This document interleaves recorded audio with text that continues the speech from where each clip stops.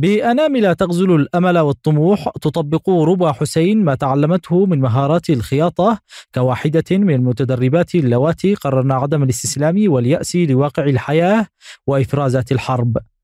إحنا والله العظيم حلمنا إن إحنا درسنا هنا ونتشكرهم على هذا الدعم اللي هم دعمونا إياه وعلى إنهم يعني دعمونا بهذا الفساتين ونتشكر المؤسسة. ربما كغيرها من النساء التي أخذن العزم على اكتساب هذه المهارة المنجية من البؤس برغم كل التحديات والصعوبات. عندنا صعوبة. في عندنا بعض المكاين خاربة. تشتي لها تصليح. نشتي بزوز.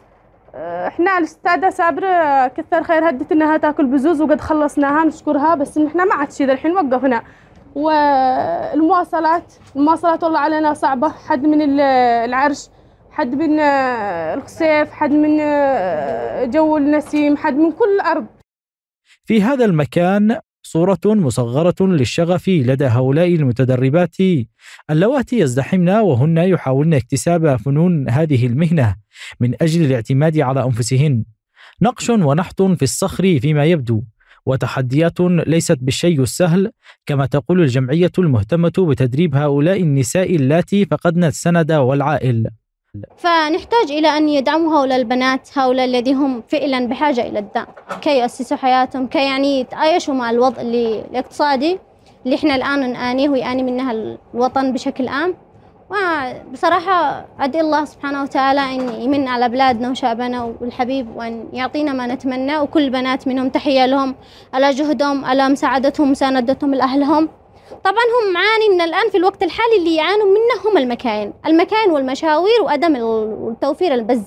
تقول الجمعية المهتمة بتدريب هؤلاء النساء المستهدفات أنها تحاول القيام بذلك بجهود وإمكانيات فردية في وقت تواجه فيه صعوبات ماثلة وحقيقية. تحد من أنشطتها وخططها المستقبلية. شاركت الجمعية في تدريب وتأهيل النساء الذي بدون عائل في جانب الرايزون الثيمات الخياطة كما شاهدتوا قبل شوي هنا.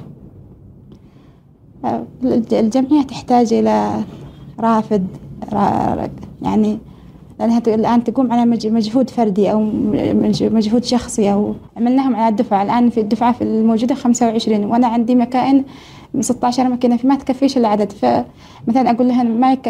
فهن مصرات يتعلم مصرات إنهن يقدم من أنفسهن شيء من أجل يأخذن فكرة وشيء محتاجات في هذا الجانب خاصة الأسرة الأسر الذي بدون معيل ما بش معهم عائل. سلوى الأغبس نازحة أخرى. التحقت بدورة تعلم الخياطة بكل إصرار على أمل اكتساب حرفة تمكنها من الاتكاء عليها لمواجهة واقع العيش والنزوح. استفدنا كيف نخيط؟ استفدنا إن شاء الله نستفيد مكاين لأن إحنا في ظروف هذه الأيام صعبة خاص خصوصا إن إحنا نازحين. جينا هنا نشكرهم لأنهم أتاحوا لنا هذه الفرصة أن إحنا نقدم على هذا المشروع. وإن شاء الله إن إحنا ما نخرج من هذا الداء الا قد إحنا متعلمات ننفع أنفسنا وننفع الناس اللي محتاجين إن شاء الله بإذن الله.